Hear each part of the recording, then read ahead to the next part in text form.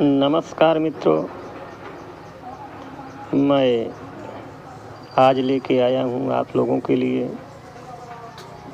अद्भुत जानकारी जो बेल और बेल पत्र के द्वारा प्राप्त होता है। बेल ब्लड प्रेशर से लेकर शुगर तक को कंट्रोल में रखता है। भगवान शिव का बेल प्रिय प्रसाद है।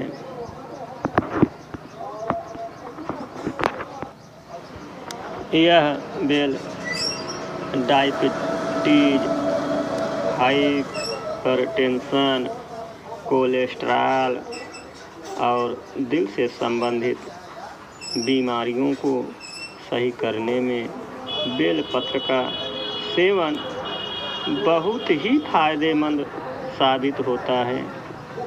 बेल का फल पेट साफ़ करने के लिए ज़बरदस्त फार्मूला है। इसमें लैक्सेटिव लैक्सेटिव प्रॉपर्टीज़ होती है, जो डाइजेस्टिव सिस्टम को दुरुस्त रखती है। बेलपत्र में कई तरह के एंटीऑक्सीडेंट पाए जाते हैं। बड़े बुज़ुर्गों का मानना है कि बेल के रस को हल्के गुनगुने पानी में मिलाएँ और इसमें शहद की कुछ बूंदें डालें। इस घोल का नियमित सेवन करने से खून साफ़ होने में मदद मिलती है। और लोगों का कहना है कि बेलपत्र की मदद से सफ़ेद दाग भी ठीक होता है।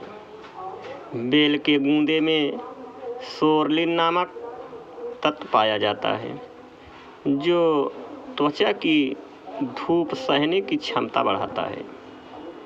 साथ ही इसमें कैरोटीन भी पाया जाता है, जो सफ़ेद दाग हल्के करने में मदद करता है। बेलपत्र पित्त की समस्या खुजली और त्वचा के दाग धब्बों को भी दूर करने में सहायक है। इसके लिए बेल के रस में जीरा मिलाकर पिए।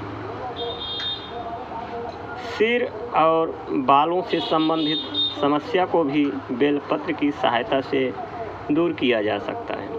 इसके लिए बेल के पके हुए फल के छिलके लें, उन्हें साफ़ करके उनमें तिल का तेल और कपूर मिलाएँ।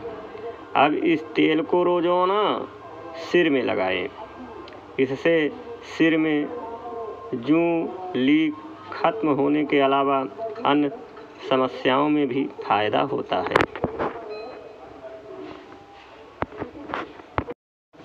हर बेल की तीन पत्ती को ब्रह्मा, विष्णु, महेश का रूप माना गया है। दतैया बर्रा, विषैला जंतु काटने पर जब जलन करता हो तो बेल पत्तियों का रस लगाने से वह तुरंत ठीक हो जाता है।